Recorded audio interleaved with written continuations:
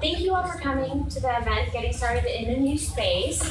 Our goal is to provide you with information from a real estate and design perspective, whether you're looking to move into a space tomorrow or years from now, or really just kind of work to enhance the space that you're in, um, we think we can provide you with some really great resources. So my name is Lauren Snowden. I work for Herman Miller, and uh, we do have some brochures you, some catalogs with some of our product in it. But really, if you want to know what Herman Miller is, you simply have to tour Capital Factory because they're sitting in one of our most popular workstations, especially with like a tech community, it's called Resolve. Um, they love it. A few of the members are also sitting in our Aeron, Aeron chair, which is our most iconic, famous chair. And of course, you see the Mirra 2s that we have the panelists in this morning. And these were voted like best task chair by Wired Magazine, so we're really proud of that.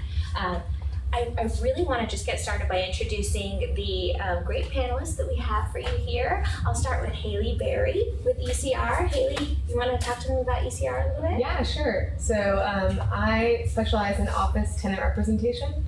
Um, so I help represent tenants like startups, um, whether that be in a new lease, expanding, subleasing, you name it. Um, I do it and I help negotiate those leases. Um, ECR is a local firm. We actually office right across the street at the Perry Brooks building.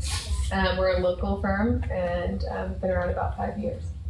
Yeah, thanks. And Haley and I are also, we happen to be working with one startup who mm-hmm. was experiencing some growth and they're in the process of leasing space in the Littlefield building, so only you know a block away. Um, so we're really excited to be working with them. And also we have James Haddon here from the Bommarito Group. James, you want to talk about Bommarito? Sure. We're an interior architecture firm here in town. Uh, been around about 30 years. We specialize in tenant fit out. Uh, I happen to try to work with as many tech companies as I can. I really like to be able to do the creative fun things that, that tech companies like to do. Uh, our our goal as a company is to create space that doesn't just look cool, but actually makes you work better. Um, we we realize that everybody's unique, and we create spaces that are unique to suit you. Yeah, and luckily I've been able to work with James on a few projects with different companies, and he actually managed Capital Factory's recent expansion onto the fifth floor.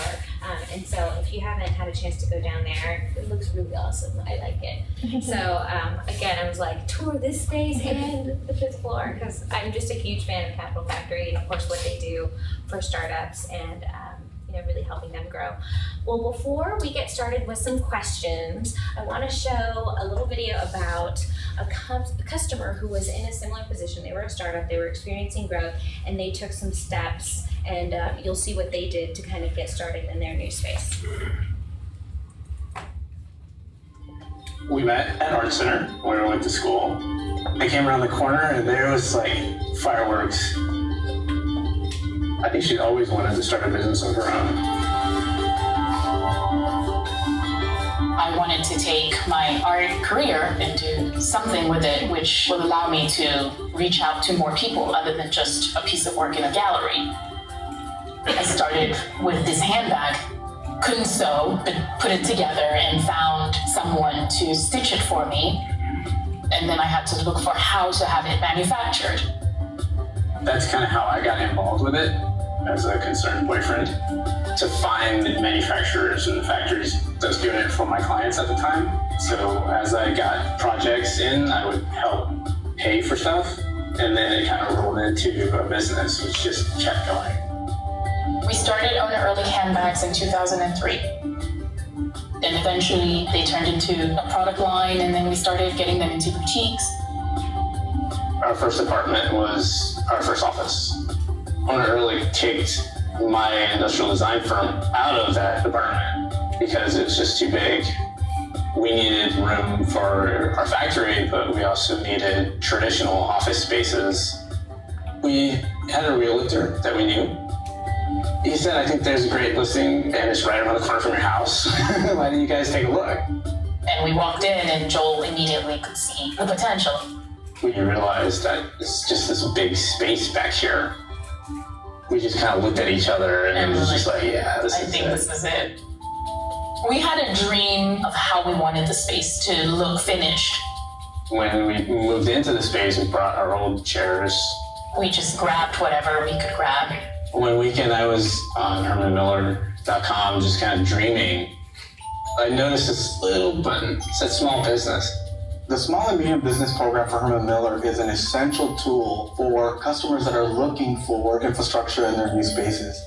Ona and Joel were interested in designing their new studio. I went into the meeting completely closed minded. We just spent money on the building. It's expensive, forget it. And he's showing us all these beautiful things. He's gonna leave and I can't have it. Jesse came in and he said, I could sell you a bunch of furniture, but really, what is it that you need? Herman Miller Center team and with us figured out the planning of the space.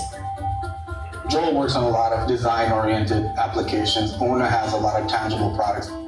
You have to be very keen on understanding the intricacies of every organization. Otherwise, you're just selling chairs to people. It was so exciting when the truck arrived and made the delivery. I thought that that would be it, but then 10 minutes later, Jesse walks in the door again and he's like, okay, let me show you how these work.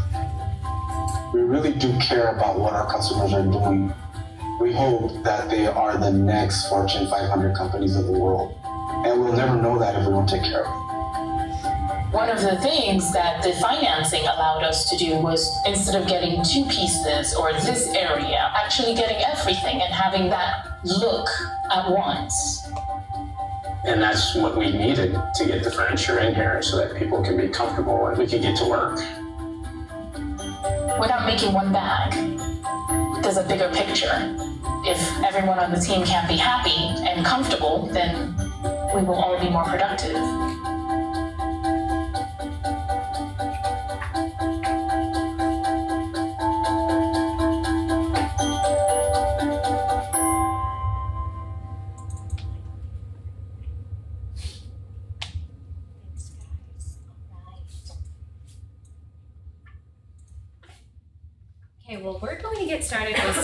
Questions that I think all of us have come across as being the most widely asked questions by startups and small businesses. So I think, you know, going back to the video, they mentioned we realized we were growing, so we reached out to a friend who happened to be in real estate. A lot of startups and small businesses don't immediately have those contacts. So my question to both of you is, if you want to contact a broker or, you know, an architect and designer, what's the easiest way to do that? How do you find a contact? Yeah, sure. Um, I think a lot of times the way I get in touch with people is they, you know, reach out to another friend that's leased office space and say, "Who did you use? Did you have a good experience?" Um, and so usually it's kind of a referral of having a good experience with the broker, and then them reaching out to me and me going meet with them, tell them our process, and explaining kind of what we do. Um, you know, also looking on Google and researching different commercial real estate firms here in Austin. I think what's important is finding someone that specializes in the product type of office space. Um, not everyone can do commercial, residential, retail. You know, you can't be really all things. You really need to specialize, I think, to be an expert in the office commercial space. Totally agree. Um, people find architects the same way. You know, you, you look at somebody's space, say, "Oh, that looks really cool. Who did your space?" Or what happens a lot of the time um, is that the building that you're moving into has an architect on that they work with because it manages their space for them, and so they'll say, "Oh, just use this architect," and it's like any other business decision. You you have to do your due diligence. Uh, just because somebody recommended somebody doesn't necessarily make them the right choice, especially in that situation. Their relationship, their that they're trying to manage is with the building. It's not with you as a new tenant or as a new client, rather. Um, and so what we say is is look around, find the people that are going to work with you to create the space that's for you, and make sure that that who they are is somebody you want to work with and have fun with, because you're going to be spending a ton of time with that person and your broker too.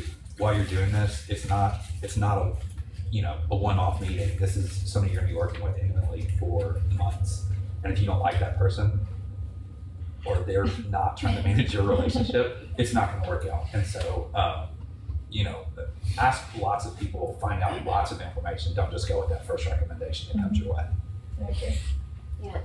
And you both touched on you can't be all things Yeah. You know, for every customer. Mhm. So, what would you say are the qualities that maybe each of you possess because you specialize in working sometimes with smaller customers? What are those qualities that somebody can watch out for and really make sure that their broker or, or architect has? Yeah, I think um, you know, giving you guys knowledge of what's going on in the market. So meeting with them, hopefully they'll you know provide you with knowledge of what new construction is going on, who's leasing space here in Austin. You know, like providing that expert knowledge, um, what rates are doing here in Austin. Um, they don't have that, they're not in the market every day. Um, they're not doing deals, and I think that's super important because you want someone that's an expert and that's um, knows what's going on in the market, has those relationships with the brokers and the landlords, because that's going to get you spaces that you might not know about um, otherwise.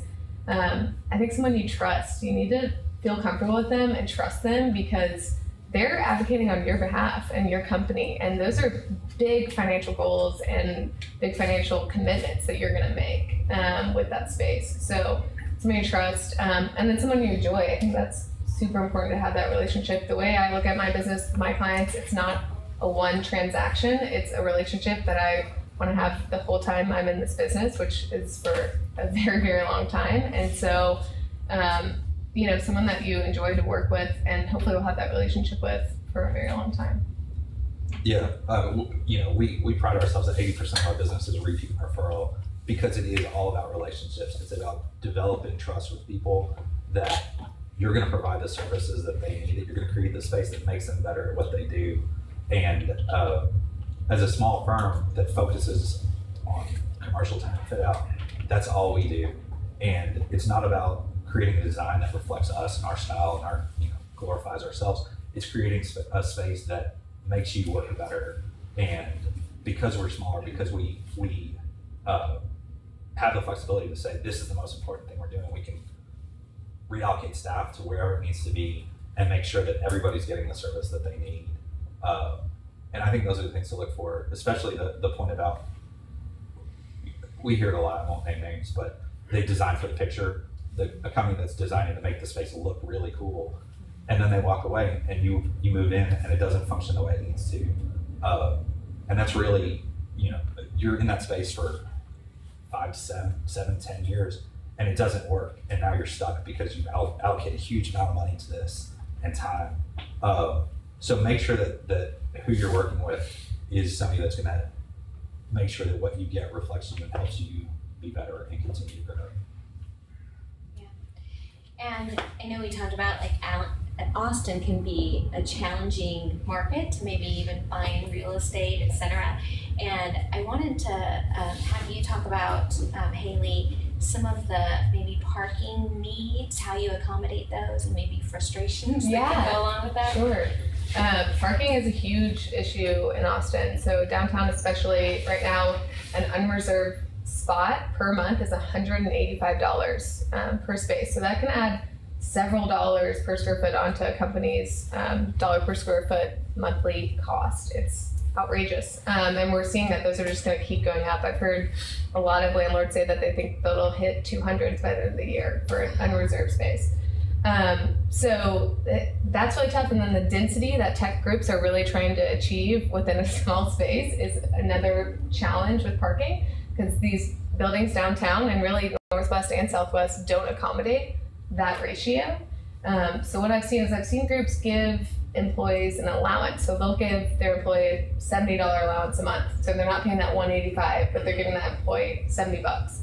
That employee can then either keep that $70 and take the bus, ride the bike, have someone drop them off, or they can use that money to pay for a spot themselves. So they're kind of having to put some skin in the game, find a space not in that garage because it, it's not going to allow for that many people in a space um, to have it, but they'll have to find a parking um, space somewhere else. So it's really given you know the ability of tech groups to still lease space downtown and have employees have parking, um, but you know still meet that need of parking as well. Yeah. And parking is, of course, one of the challenges that I think small businesses and startups face. Um, but would you both maybe give some insight into some of the other challenges you think a lot of startups face when they're trying to look for a space? Sure. You, You go first. All right. Um, the other two challenges I would say is finding a short-term lease. So um, a lot of startups, in my experience, have wanted, you know, a space for a year, or six months, maybe two years, um, and most landlords here in town are looking for three to five years. So um, just finding a space that meets those short terms, whether it be a co-working space, uh, subleasing, um, but having a broker that knows the landlords in town and brokers that are willing to do a short term is really important. It'll save you a bunch of time of not wasting time touring spaces that aren't even going to meet those needs. Um, and then the other thing I think is securing a lease. So most landlords in town want to see at least the past two years of profit and loss and balance sheets. Most drives aren't going to have those types of financials in my experience. Um, and so again, having someone advocating on your behalf, getting creative, whether it be pay several months rent up front to secure that lease or having a larger security deposit. There are ways to do, you know, to secure the lease and to make the landlord feel comfortable with you guys leasing space for a shorter term. Um, but it's it's having someone that kind of knows that landlord and broker and, and has that relationship to kind of get creative because in the end you are competing for that space. In a market like this, it's less than seven percent vacancy downtown there's more than one person looking at space at all times. So the landlord kind of can look at those financials and be like, who's going to secure this lease better? So it's important that you have someone that can get creative and really help you guys get that space. Uh, for us, I think it's the fact that for a lot of startups, the first time they're they're moving into an office uh, with a plan. You know, everything else has sort of been done ad hoc. You, you get some space, you start growing, you're buying furniture just as you need it, and everything sort of just grows, and there's no plan. And so, to us, the biggest challenge with working with startups is taking the time at the very beginning to help you understand who you are, what you're looking for, uh, you know, aesthetics, uh, culture, those because all of those need to be reflected in the space that you create. Uh, and so the programming process, which is the first step, where we get to learn all about you, we help you understand uh, and verbalize those things which you maybe know internally, uh, is really the, the, big first step and the big challenge to this. Uh, understanding cost, understanding you know, what does it what does it really mean? How much is it going to cost to create space? Especially in the market right now with so much construction going on, it's very difficult uh, to get work done cheaply because you're basically competing with everybody else who's spending lots of money for the GC's time, for the sub their subcontractors' time, uh, and so really, really walking in the door with a good understanding of what you're going to get for the dollars that you spend, and then figuring out the way to spend those dollars creatively to get the most bang for the buck. And I think um, a lot of people just assume that there's kind of at least one step process for maybe involving a broker and then you bring design on, etc. James, can you shed some light on maybe the normal process that you've gone through or if you've been involved first with some startups? Absolutely. Um, I think you can certainly do it either way. Hire the broker first, hire the architect first.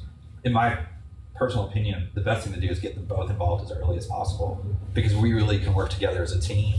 Uh, help by doing that programming, we can get a good sense of the actual space that you need to make sure that your broker is looking for the right space to suit to suit you. Uh, you know, I know that y'all use some some sort of standard ratios to determine square footage, but we can look and say, oh no, they really need more or less. They're going to be denser than that and so they're finding the right space. Um, location, all those things, we can go look at spaces with the brokers, with you. Uh, and so starting that process together as early as possible, I think is really a big key point. Yeah. And as far as budgeting, I mean, do you both maybe sometimes give advice to some startups and small businesses as far as what to look for, um, price per square foot, etc.? How do you all influence a startup's budget? Yeah, um, I think educating. Um, so like the average square foot cost downtown is forty three dollars and fifty cents a square foot. It's outrageous. So I think having a budget is everything to really know what you're doing because otherwise you can waste a ton of time, lose a lot of opportunities on spaces because things move so quickly here. Um, so really sitting down and kind of figuring out what your financials are going to look like and what you want to spend and um, kind of figuring that out with your broker is really important before going out and looking at space that might not meet your goals. Yeah, and the same thing is true from our side as well. Um, understanding what construction costs are, uh, the fifth floor, we were, we were able to get down to forty dollars a square foot because we basically didn't, didn't move any of the walls. We took down some, but it was, it was already built space that we were able to just refurbish, uh, versus when we did this floor, it was empty. It was cold dark shell or warm dark shell, uh, which means it had air conditioning, but no lighting, and it was empty. And so this was hundred and twenty dollars a square foot to do what you see here. Um, and so it can, it can vary widely depending on the space you move into. And so again, knowing that budget up front or understanding what you think you want to spend, c- we can, as a team, help determine where you want to look. Because if you, if you're looking at cold dark shell space, but you don't have the money to finish that out, Yeah. you know, it's not going to work out. So um, we can absolutely sit down and try to figure figure out um, where to allocate funds. Again, empty space is cheaper to build than lots of walls, Yeah. but then you're spending on furniture. So it help you figure out what that budget should be and make sure that you've accounted for furniture, equipment, um, plumbing, everything that goes into a space, uh, and just help you understand what that all means, mechanical, electrical. Um, and those costs can vary per building to building. In their building, Perry Brooks building across the street, um, is a very old building and mechanical system's completely tapped out. So tech companies that, if a tech company were to move in there, the density they require actually costs lots of money because they have to upgrade the mechanical and electrical system for the entire building to handle their one lease. Um, and so again, knowing that stuff up front, we can maybe avoid that kind of space and puts you in the right space that you need to be. Yeah, and then speaking of being in the right space, um, I know tech is a really hot industry here, um, as well as creative. Where are you seeing most startups and small businesses open an office? We talk a lot about downtown, but are there other areas that you're seeing a boom? Yeah, um, sure. So I would say, in my experience, um, the most important things for startups is hiring great talent and then retaining that talent. And um, what goes into that is competition, right? Who else, who are you competing with to get that talent? And a lot of times they want to be downtown. That talent are millennials that want to be in the energy. They want to be able to walk and get something to eat. They want to be able to go to cool bars. You know, walk. Maybe they live downtown. Maybe they want to walk to work. Um, so we're seeing a ton of people move downtown. Um, however, um, I recently actually just put a startup um, in a sublease out in Bee Caves in Southwest um, because that gave us the short term that he was looking for. So he's in there only for a year. Um, and then, you know, a lot of times what we'll do is from there, he's had a year on his feet, you know, now he's ready to move downtown or wherever really meets their goals. So a lot of times they'll start out in Northwest or Southwest. Northwest actually is cheaper than the Southwest market. Um, not by much, but uh, so we'll a lot of times see like a sublease or you know a shorter term lease in those areas, and then they'll move downtown once they kind of know what their goals are after a year. Because a lot of times they're not really sure of the future. Yeah, I, I mean, I think it depends on the size. You see a lot of really small companies, I think, taking that approach, Mhm. whereas the more established firms um, want to be downtown. Or we're seeing stuff in East Austin as well, of course, because that's sort of the, the new trendy place Which to is be. just Right. expensive Right. as downtown. A lot of people think it'll be cheaper, and It's not. so You're like, I'm sorry, I Yeah. wish I could lower the price I per square know. foot for you. Um, and then you talked about with budgeting, um, James, you talked about like budgeting for furniture, and of course, I mean, I know that's where we're brought in all the time. Um, but you mentioned you get a lot of questions about, um, oh, well, I have my IKEA furniture. I think I'm just going to bring that in. I don't know. What do you think about that? It's understandable. I mean, it's cheap. You know, you can buy a table for seventy nine dollars or something like that. But the reality is, it's designed to be in your house. You're supposed to use it thirty minutes a day. It's not designed for a person to sit in front of it for eight, nine, 12 hours a day. And over time, you're going to end up replacing those tables. You know, over the course of the year, if you have 100 desks, you're going to replace probably five of them every year. And so that savings that you think you garnered um, can sometimes be lost really quickly. They also don't have cable management, so you end up with your space looking really sort of junky. Um, and there's lots of companies now that that have realized that startups are, are a really hot market for furniture, and so they're introducing commercial grade furniture, which know, Yeah. explain what that is real quick. Well, and I mean, with commercial grade furniture, I think, you know, we look at a space like Capital Factory and like the workstations that they're using are meant to stand up for long use. Um, I know with all of our product, it is specifically to be three shift warranty involved. So we imagine it's possible, especially in some place like a call center, you could have somebody at that desk from midnight to midnight. And we carry the type of warranty that would support that. So if it ever breaks down, I mean, we'd be right there kind of fixing everything for free. And I think a lot of times, like James mentioned, the IKEA stuff can go bad really fast. And so having that commercial grade, I think it is a huge asset. That's my opinion. I'm like, I'm a presenter too. Um, but that's a good point about the warranty, because another big temptation is to buy your stuff on the internet, right? I mean, they find knockoffs of these chairs, I'm sure. Yeah. But there's no warranty. When it breaks, you're out of chair. I mean, there's no way to get parts for it. There's no way to fix it. You're just throwing that chair in the trash. And so, um, again, I mean, there are times where companies that definitely the only option they had if, to have people sitting in chairs and in desks was to look at those avenues.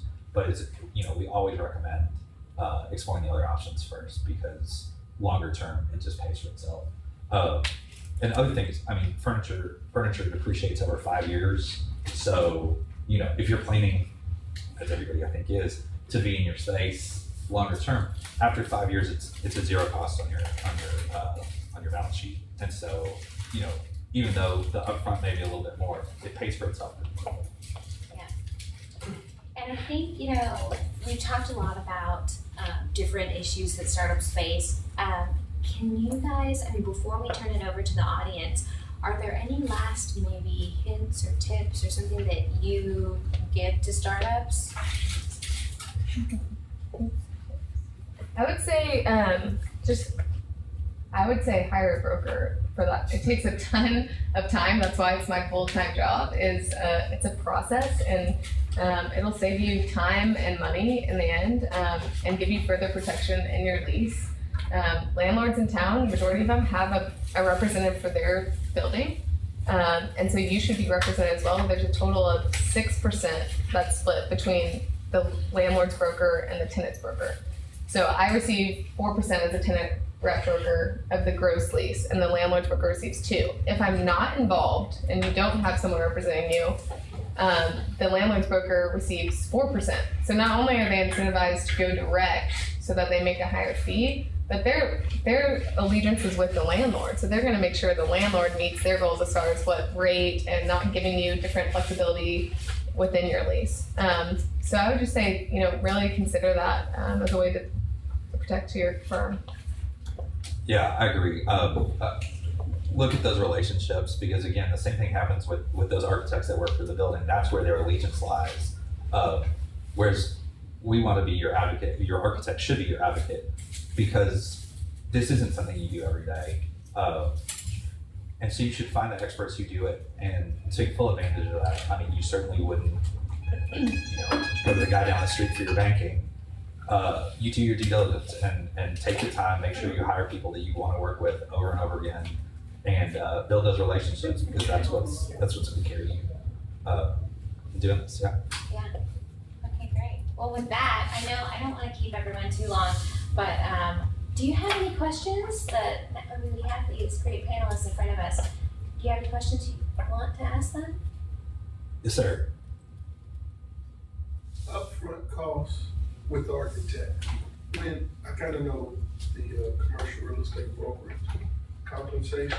Yes, But sir. as far as with architect, what is expected in pursuit costs with you before engagement? Uh, so what we'll generally do um, is our fees are generally eight to twelve percent of your construction cost is where it'll end up being. Um, it it sort of depends on on the size of the space um, and what you're trying to and the complexity of what you're trying to do. Uh, we'll write a contract and we bill on a percent completion basis. So as we work our way through the process, uh, you're getting billed for the time that we're spending. There's no upfront. Uh, you know, you don't put a deposit or retainer or anything like that down. A lot of clients will write an RFP where they get proposals from multiple architects, uh, you know, ask for qualifications, go through that. Um, and so, you know, the, the,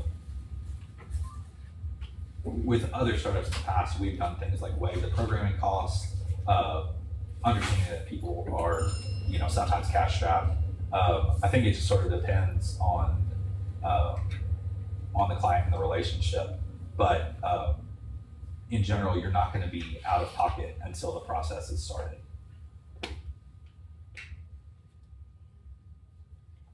Sir.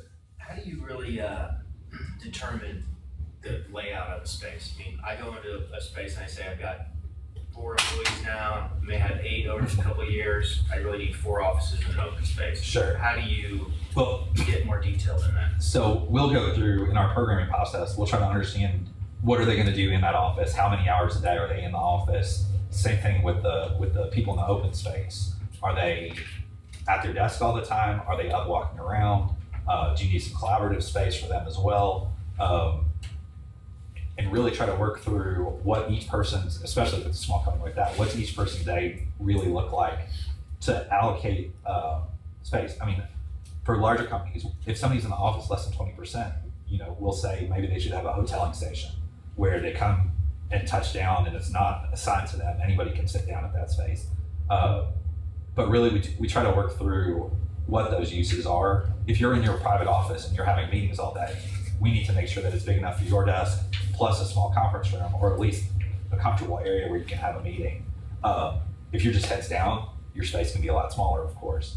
So we just try to work through those things. Now, the, the growth side of it uh, is a, is a real tough question because, especially with startups that are expanding as quickly as they are, um, it's always a question: Do you lease empty space and just you know you're paying more up front, knowing that you're going to take over take it over relatively quickly, or you know work with your broker to get right of first, first refusal for expansion space, or uh, potentially sublease some space that you take it and occupy it, so you furnish it and then sublease it to somebody else. Um, and again, that's a, that's a real good reason to have the broker and architect team on board early because we can work through those things with you up front.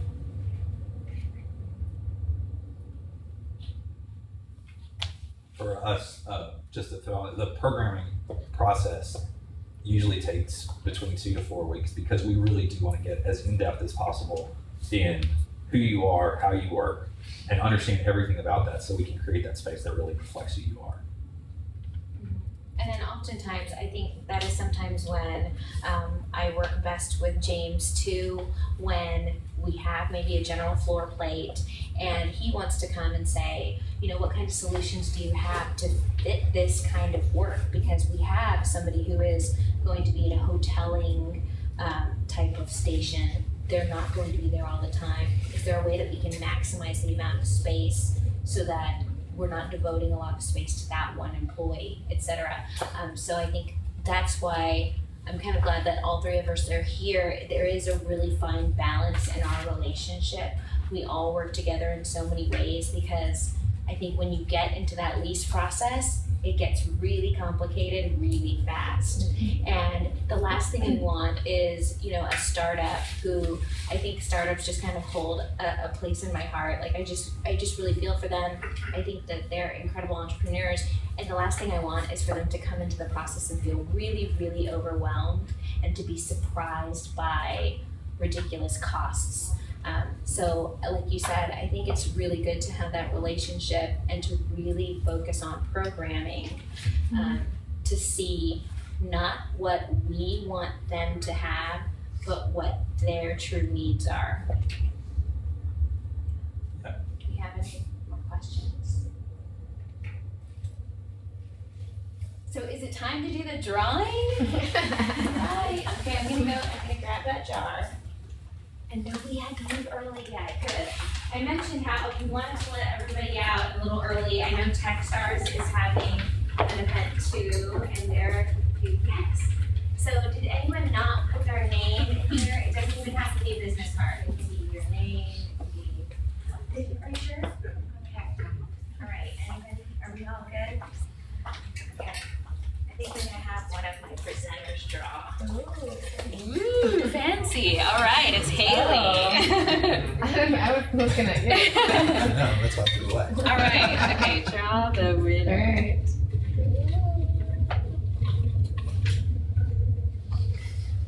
Michael Spain. All right. Alright. Awesome. Yay, great. Okay, well, the prize that we have for you is, is one of our Herman Miller Leatherbound notebooks. And I mentioned the Aeron chair earlier. There's, um, you can look online and see people playing air chair hockey. So it's, it's a little hockey puck and a fifty dollar Whole Foods gift card. Oh, cool. Yeah, so thank you so much for coming. Yeah. And I know I have some business cards back there, and if you want some information about these two presenters, um, you can approach us now, or um, of course just contact me and I can get you any, any information that you need to. But thank you so much for coming. Thank y'all. Thank you.